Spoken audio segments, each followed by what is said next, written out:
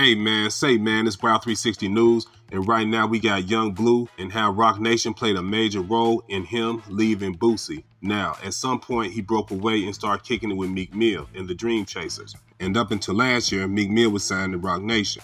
You see Meek Mill at all of the Roc Nation brunches. He kicks it with billionaires. Meek Mill is really plugged in. So of course, Yung Bleu is going to be exposed to these same environments, these same people. That's going to lead or it led him to being advised by Roc Nation. Okay, Shari Bryant, co-president of Roc Nation and former employee of Meek Mill, is said to be the one who informed Yung Bleu that he could get out of his contract. TQ, Boosie's brother, said, shout out to Roc Nation, but one of the first things they do is ask you, who are you signed with? If they find out you're signed with an independent, one of the first things they tell you after that is, we can get you out of the the deal. And TQ said most of the time they're right because an independent contract normally will not lock down an artist in a way a major label contract does. So Roc Nation, of course, has lawyers that can get an artist out of an independent contract that's probably only a few pages long. And another thing that needs to be noted is that TQ said he wrote the contract up, so he know Yung Bleu can get out of it. This is all according to TQ, Boosie's brother.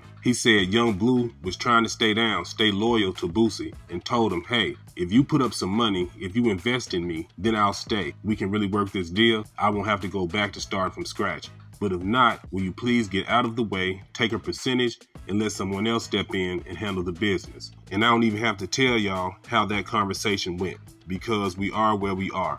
Boosie is suing Yung Bleu. Yung Bleu and Boosie's brother are claiming Boosie has not a right because he didn't put up not a cent. Y'all tell me what y'all think about this story, man. Drop a comment, like the video. Wow 360 News, we out of here. Peace.